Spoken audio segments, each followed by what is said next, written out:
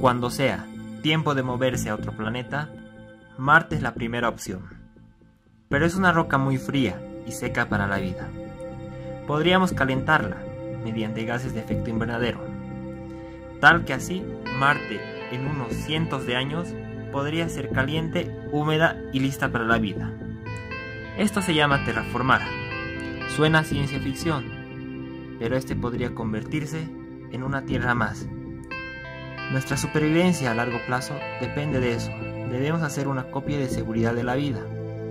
Debemos asegurarnos que la vida no se quedará a morir en este planeta. Actualmente, Marte es un mal lugar para que crezca cualquier cosa. A una distancia de 1.5 unidades astronómicas es un desierto congelado, de roca, hielo y polvo, y ha sido así por millones de años. Es un tanto más que la mitad de la Tierra. Luz ultravioleta y rayos cósmicos esterilizan la superficie. Las temperaturas no son uniformes, pueden variar desde menos 130 grados centígrados en los polos hasta 26 grados centígrados en el polo. Su atmósfera es tan delgada que no soporta el agua líquida.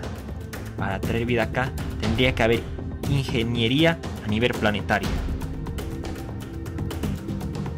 Hay que entender que Marte no siempre fue tan hostil como lo es hoy, ya que hay bases de antiguos lagos, canales de ríos secos y deltas, indicando lo que hubo en Marte, con una presión lo suficientemente alta para mantener agua líquida en su superficie. Al enfriarse el planeta debido a su pequeño tamaño, los volcanes murieron y su, una vez atmósfera, fue desapareciendo junto con su campo magnético, dejó estéril al planeta. Bueno, acá estamos en Universe Sandbox para transformar Marte. Tendríamos que empezar por reconstruir su temprana atmósfera, ¿no? Podríamos sacar el CO2 de sus polos usando bombas de hidrógenos en ellos, como también poner pequeñas fábricas que producen gases de efecto invernadero. Acá podemos ver el polo sur de Marte y bueno, por la órbita que tiene ahorita Marte, no podemos ver el, lo que vendría siendo el polo norte pero lo voy a adelantar para que lo puedan ver. Que este vendría siendo el mayor depósito de CO2 que se cree que existe en el planeta. También poniéndonos como objetivo elevar la temperatura desde menos 62 grados centígrados, que es la media. ¿no? Por ejemplo, ahorita en esta parte de la órbita Marte tiene menos 64.7 grados centígrados, ya que es muy bajo, hasta una temperatura media aproximadamente cercano a los 12.4 grados centígrados. Por ejemplo, la Tierra en este punto de la órbita y, en cualquier otro punto va a tener una muy similar, tiene 14.8. Esto dependiendo de dónde se encuentre en la órbita, si está más cerca o más lejos. Sin embargo, todo esto no sería suficiente como para producir un cambio significativo. Esto solo elevaría 10 veces la presión actual del planeta. Actualmente Marte tiene una presión atmosférica, acá está en atmósferas de 6.37 por 10 a la menos 3 atmósferas. No lo que viene siendo un punto en el que ni el agua líquida existe. Entonces, haciendo el uso de bombas de hidrógeno y fábricas de efecto invernadero, solo subiríamos 10 veces esta presión actual. Sin embargo, eh, al hacer que la presión se eleve 10 veces, sería lo suficiente como para hacer que el CO2 que no se de sublimó ¿no? de los polos cause más efecto invernadero. Mientras la atmósfera se hace más gruesa, se calienta y mientras más se calienta, más gruesa se vuelve, hasta que se pase el punto crítico donde empiece a existir agua. La atmósfera con todo este proceso podría espesarse hasta 0.7 atmósferas, es decir, otras, veces, otras 10 veces más, un poquito más de esto. Acá en la simulación no sé por qué la temperatura se va tan arriba. Si lo dejamos correr un cacho, a ver que se va hasta 60 Me parece que es problema de la simulación porque en otras versiones no subía tanto. Voy a poner un albedo de 63. El albedo es cuánta luz refleja del sol respecto a cuánta luz absorbe. Es decir, aquí refleja un 60%. El albedo original de Marte es 25, pero aquí lo estoy alterando para que no me fastidie. Y bueno, volvamos. Entonces, al aparecer agua líquida en, la superficie marciana, esta también reaccionaría con, la, con los minerales que existen en Marte, provocando así más CO2. Entonces, esta presión a la que hemos llegado a un inicio podría crecer inclusive un poco más, digamos 0.9 atmósferas, ¿no? Ahora, más o menos el agua que creemos que existe, existe en Marte es 7 por 10 elevado a la 18 kilogramos de agua.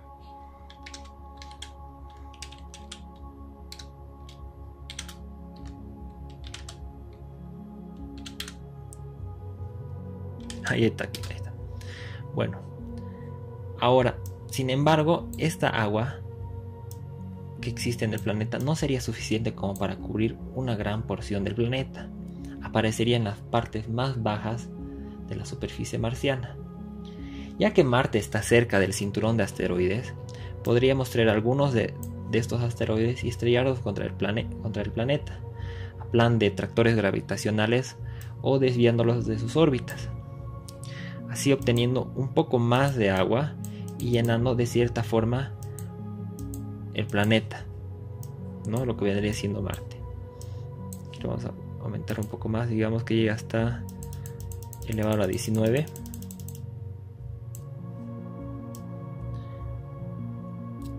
Y bueno, bueno, el agua aparecerá como ya vimos en las partes más profundas de Marte.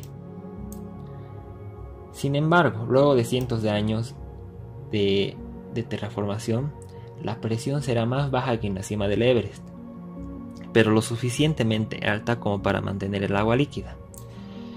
Pero ahora el problema sería que la atmósfera no es respirable. Tendríamos que volver a Marte verde y volver la atmósfera de Marte respirable. Sin embargo, la ausencia de nitrógeno y oxígeno podría solucionarse mediante la utilización de cianobacterias, las cuales romperían los minerales de la superficie marciana y podrían traer de vuelta el hidrógeno en el proceso. Por ejemplo, podría convertir el CO2 que ya, está, ya estaría en la atmósfera en oxígeno. También así retornando más oxígeno a la atmósfera, el cual permitiría la existencia de vida más compleja. Esto originaría que primero empezaría a aparecer líquenes y musgos empezarían a crecer y prosperar en la superficie de Marte, mucho tiempo después del calentamiento. Estos construirán suelos con nutrientes, humedad y otras cosas así sentando la base de lo que venga en el futuro, como por ejemplo pasto, generando una tundra, lo que se convertirá finalmente en bosques.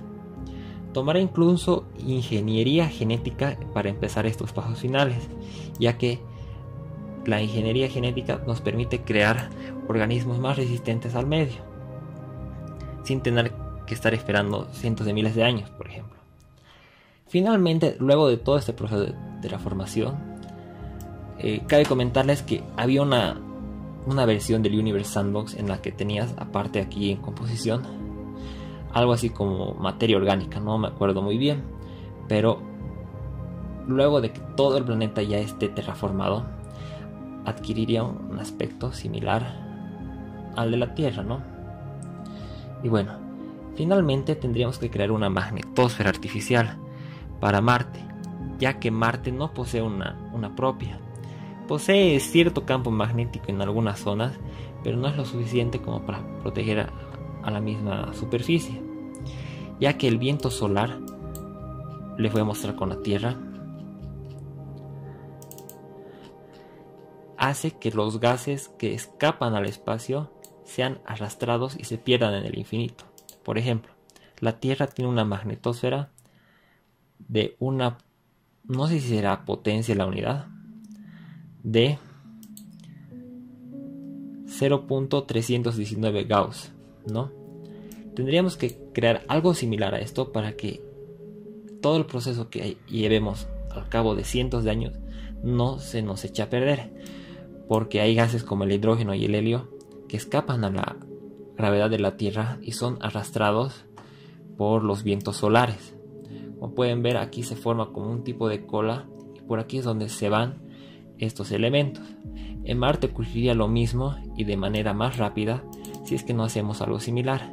Por ejemplo en la Tierra se pierde una cantidad de 46 toneladas por segundo. En Marte sin una magnetosfera se perdería mucho más. ¿no? Entonces tendríamos que crear una de similar, ¿no? Digamos 0.2 Gauss como para que no, no se lleve ¿no? el viento solar esto creado. Hay varias formas de crear una magnetosfera, ¿no? O varias ideas o propuestas que han hecho los científicos. Y bueno, así para evitar los vientos, como ya les dije, que los vientos solares desprendan esas partes de la atmósfera. Y bueno, esto vendría siendo una idea de cómo transformar Marte. Espero que les haya gustado el video. Hasta pronto.